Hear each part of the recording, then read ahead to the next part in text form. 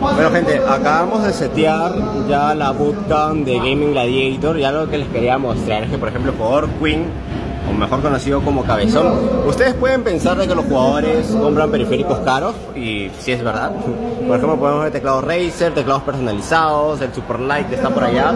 Pero por ejemplo, el Cabezón o Queen juega con un teclado Dell de membrana. Este es su teclado con el que ha llegado hasta la final de la Lima Mayor. O sea, imagínense. Y tiene un mouse Zoe de hace mucho tiempo. O sea, con esto imagínense que realmente no es necesario comprarte o gastarte miles de dólares en periféricos, sino que realmente el talento a veces ayuda bastante.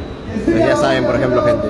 No se desanimen si tienen periféricos bajos ni nada por el estilo, porque Queen, jugador profesional de Gaming Gladiator, pues juega con el teclado de él, que consigues comprando una computadora así toda media chafada. Incluso este teclado creo que lo puedes conseguir en Wilson por 10 soles por ahí.